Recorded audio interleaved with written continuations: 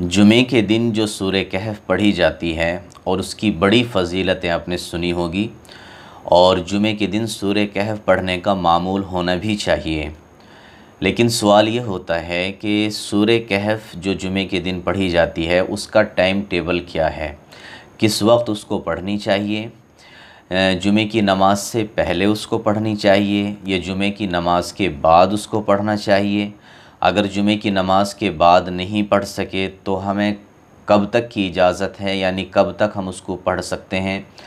या इससे पहले, यानी किस वक्त उसका टाइम टेबल है और कब से कब तक उसको पढ़ सकते हैं? तो आज मैं इसको क्लियरली इन आपको समझाऊँगा। देखिए, जुमे के दिन सूर्य कहफ़ का पढ़ना, ये बड़ी फ़जीलत रखता है और अहादीस में इसकी बड़ी फ़जीलत आई है। इसलिए अगर आप नहीं पढ़ते हैं तो इसकी आदत बना लें और मुसलसल जुमे के दिन जो है सुर कहफ़ को पढ़ें। अब रही ये बात कि सुर कहफ़ का टाइम टेबल क्या है और किस वक्त इसको पढ़नी चाहिए।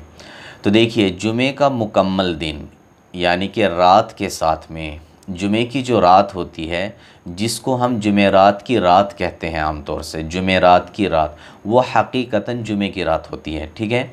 तो वो रात और इसी तरीके से अगला दिन, यानी जुमे का दिन, पूरा का पूरा। रात में भी और दिन में भी आप जिस वक्त भी चाहें, उस वक्त आप सूर्य कहफ़ पढ़ सकते हैं। जिस वक्त भी आप सूर्य कहफ़ पढ़ लेते हैं, सुबह में पढ़ें, दोपहर में पढ़ें, रात में पढ़ें, किसी भी वक्त अगर आप सूर्य कहफ़ पढ़ लेते हैं तो आपको वो फजीलत हासिल हो जाएगी। जो भाई हमारे इस चीज़ को लेकर के परेशान रहते हैं कि जी जुमे की नमाज़ से पहले पढ़ें या जुमे की नमाज़ के बाद पढ़ें, आप चाहे जुमे की नमाज़ से पहले सूर्य कहफ़ पढ़ लें। और चाहे जुमे की नमाज़ के बाद सूर्य कहफ़ पढ़ लें, या जुमे की नमाज़ के बाद न पढ़ सकें, असर की नमाज़ के बाद सूर्य कहफ़ पढ़ लें, या सुबह के वक्त में फ़जर की नमाज़ के बाद। कुल मिला के यह है कि रात में भी और दिन में भी, जब भी आपको वक्त मिलता है, आप सूर्य कहफ़ अगर पढ़ लेते हैं तो आपको सूर्य कहफ़ के पढ़ने की जो फ़जीलत हजूर वसल्लम ने बयान की है, वो आपको हासिल हो जाएगी। तो ये लेकर के बड़ा यानी कशमकश रहती है और बहुत सारे हमारे भाई सवाल करते भी हैं कि जी कब इसको पढ़ना चाहिए? तो मैंने आपकी खिदमत में इसको वाज तौर पर रख दिया है। अगर फिर भी आपके जहन में किसी तरह का कोई सवाल है इसको लेकर के तो आप नीचे कमेंट बॉक्स में अपने उस सवाल को लिख सकते हैं।